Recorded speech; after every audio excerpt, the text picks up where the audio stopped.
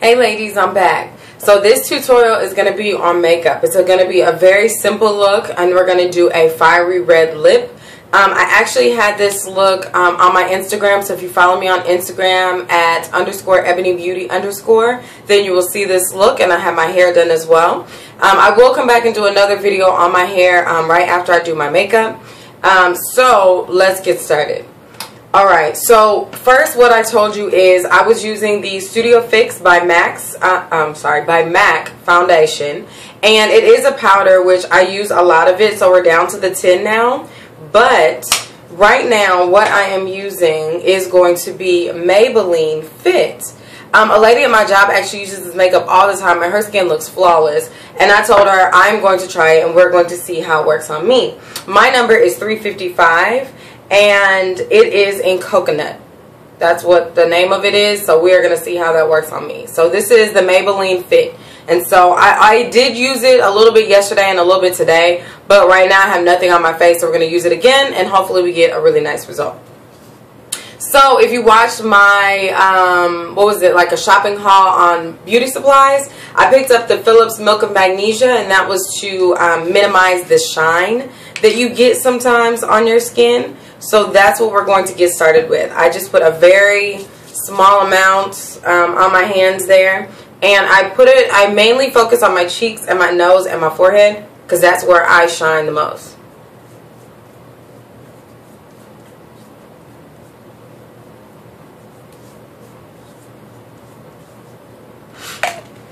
And there is that.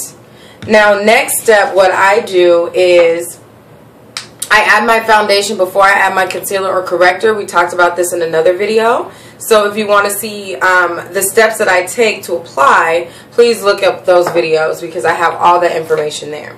So now I take a little bit of my foundation, my Maybelline Fit in Coconut, and then we're just going to apply that all over.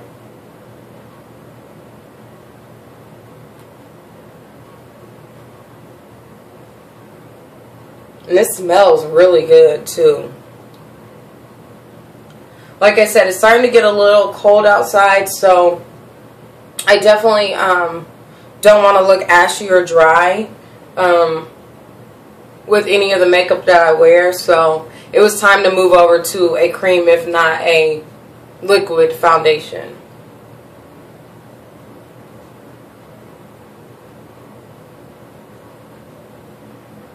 Then just blend that in all over the skin. And you don't need much. But I do add a little bit more to my dark spots just so that they'll be a little bit more concealed.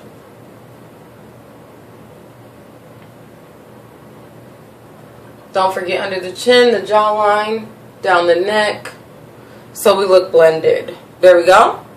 I'm pretty even. I don't need much. But the next step for me is going to be my concealer palette, camouflage palette from BH Cosmetics.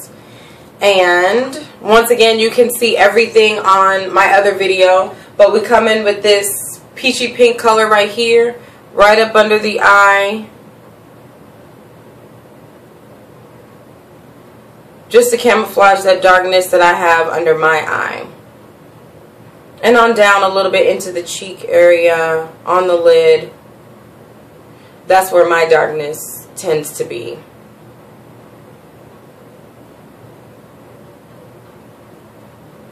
And this uh, Maybelline Fit, it feels really light on.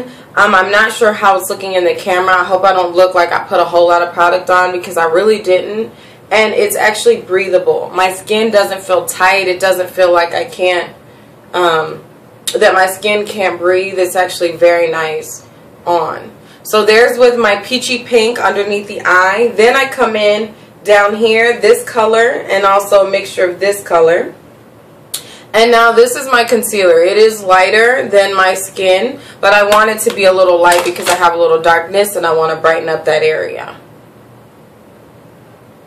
And then we'll come right back over that color um, with my Maybelline Fit foundation. And I'm going heavy on the light just so you guys can see it. I don't put this much on on a normal basis. But I just want you guys to be able to see it a little up into the hairline as well. Not on the hair.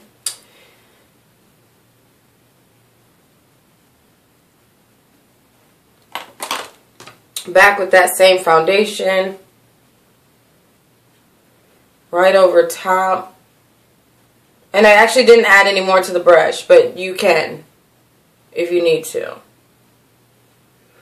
But we're just going to blend all that color in.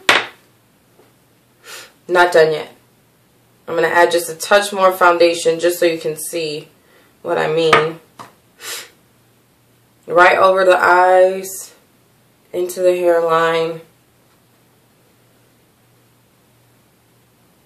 The concealer, the light concealer color is just that. It's just to conceal, just to brighten underneath the eye. Maybe you had a long night or something like that. So you just want to brighten up that area right under the eye. And that's all it's really needed for. It's not supposed to make you look white or, or ashy or dry or anything like that. So that's basically all that color is used for. And now, I hope I look concealed and corrected because that's all I'm doing. Alright, now, um, and oh, I forgot to add another product which I do use on a normal basis. Um, and that is my primer for my skin. I didn't use it today, but I have bought one from NYX, which is really good actually. It was only about a dollar or two dollars. I got it from Walmart. Um, this one I just started using and I'm about halfway through with it, but it works really well. So the process would be I put on my Milk of Magnesia. After I put that on, let it dry for a minute. Then I put on my primer. Let that, it doesn't really need to dry. It's kind of like a moisturizer, but just let it dry a little bit before you start adding all your makeup. So then if you add your concealer, add that next. If you add your foundation, add that next. And it just gives you a nice matte finish. Now the one I normally buy is Rimmel, which um, this brand is their, I'm sorry, this one is their Fit and Fix and Perfect. This one is very good as well. I do like the way that this one feels on the skin. Both are primers for makeup and it looks really nice once you put it on. Now, my next step is going to be actually very simple. I don't have much to add to my skin at this point. Next is going to be my Glam Eyes from Rimmel, my mascara. I'm not going to do a wing liner. I'm not going to add any color to the eyes. Um, this is the most I'm going to do right here. I've been keeping it pretty simple with my makeup routine, but the colors are about to start coming out. Um, I'm really, really excited um, to play with the colors of fall. Some orange and burnt reds and even some golden colors. So those colors will be coming out, but not for this tutorial today on the lower lash line as well, just a little bit. They don't like um, when you put your foundation on and then you put it all over your face and then you have light colored eyelashes and it looks like you have no color at all. So just a little bit on the lower lash line. So that's basically it for my eyes.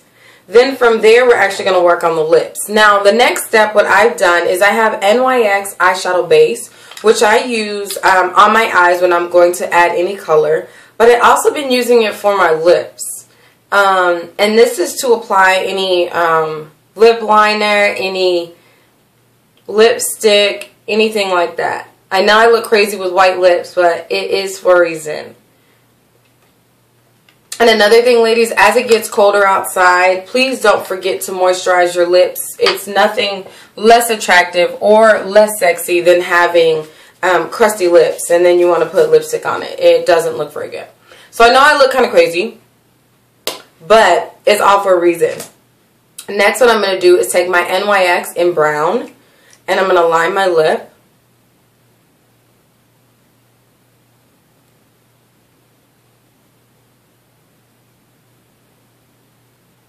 Just like that. Just a light liner, nothing too much.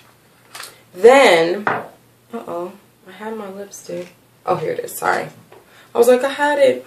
Then in um, NYX Eros, if you can see that, it is a bright poppin' red. I love it. It has no browns in it. It is a bright, bright red lipstick. And it's called Eros. Then i apply that. It almost looks like it could be in the orange family.